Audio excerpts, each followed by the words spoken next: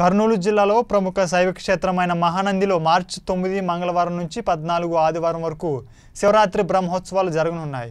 మహానంది ఆలయ ఆవరణ కళ్యాణ మండపంలో ఉత్సవాలకు సంబంధించిన ఆహ్వాన పత్రిక గోడ పత్రికలను ఆలయ కార్యనిర్వాహాధికారి మల్లికార్జున ప్రసాద్ వేద పండితులు ఆధ్వర్యంలో పూజలు చేసి అనంతరం విడుదల చేశారు.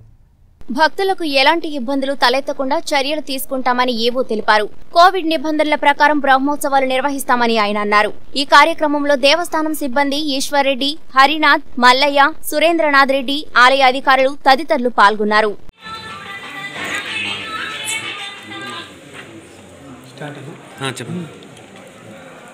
ఓం శ్రీ మహానందేశ్వరాయ మహానందేశ్వర స్వామి దేవస్థానం బ్రహ్మోత్సవాలు. శివరాత్రి బ్రహ్మోత్సవాలు ఈ దేవస్థానంలో ఏడు నుంచి పద్నాలుగు వరకు అత్యంత వైభవంగా జరుగుతుంది.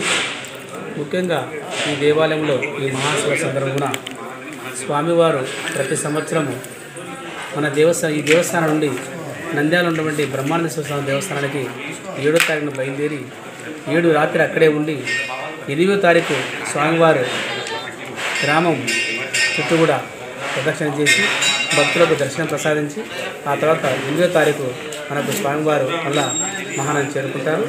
ఎనిమిది చేరుకున్న తొమ్మిదో తారీఖు మనకి ఇక్కడ ధ్వజారోహణ ఉంటుంది. ధ్వజారోహణ ఆరోహణ సాయంత్రం పూట మనకు ఉత్సవం ఉంటుంది. మరియు పదో తారీఖు ఉత్సవమూర్తి పదకొండు స్వామివారికి లింగోద్భవ కార్యక్రమం ఉంటుంది. మరియు తెల్లవారుజామున మూడు గంటలకు స్వామివారి కళ్ళు వచ్చిన కళ్యాణోత్సవం ఉంటుంది. తదుపరి పదమూడో తారీఖు స్వామివారి యొక్క రథోత్సవం కార్యక్రమం అత్యంత వైభవంగా జరుగుతుంది.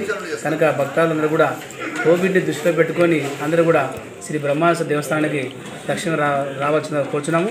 మరియు ఈ దేవస్థాన భక్తులకు కూడా వారికి కావాల్సినటువంటి సౌకర్యాలు ఏర్పాటు చేసినాము. భక్తులకు ఫ్రీ రైళ్ళ పోలిక మరియు టికెట్ దర్శనం పోనిక మరియు స్పెషల్ దర్శనం పోనీకి కూడా వికలాంగులకు కూడా వారికి కూడా ప్రత్యేక లైన్ ఏర్పాటు చేసినాము. కనుక భక్తుల్ని గమనించి వారు వారు అందరూ కూడా మాస్క్ ధరించి రావాలను ముఖ్యంగా ఇక్కడ కోనేరులు ఉండేవి కాబట్టి కోనేరు ప్రస్తుతం కోవిడ్ వలన మూయబడి ఉన్నాయి. కనుక వారికి ప్రత్యేకంగా వారికి శవలని ఏర్పాటు చేసినాం కుళాయిలు ఏర్పాటు చేసినాం. తర్వాత తర్వాత భక్తులకు కూడా ప్రత్యేక మరుగుదొడ్డు కూడా సపరేట్గా ఈసారి ఏర్పాటు చేసినాము.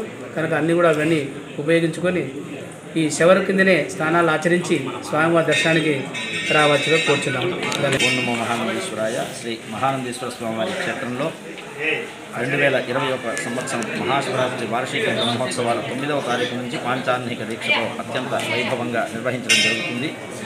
ఏడవ తారీఖున స్వామివారి ఉత్సవమూర్తులు నంద్యాలకు వెళ్ళడం ఎనిమిదవ తారీఖున బ్రహ్మానందేశ్వర స్వామివారిని పిలుచుకొని మహానంది క్షేత్రానికి రావడం జరుగుతుంది.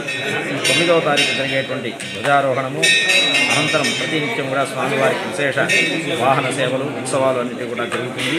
పదకొండవ తారీఖున ప్రత్యేకంగా మహాశివరాత్రి సందర్భంగా రాత్రి లింగోద్భవ కాలంలో మహారుద్రాభిషేకం అనేటువంటి అభిషేకం అనంతరం స్వామివారి కళ్యాణ మహోత్సవం కూడా జరుగుతుంది.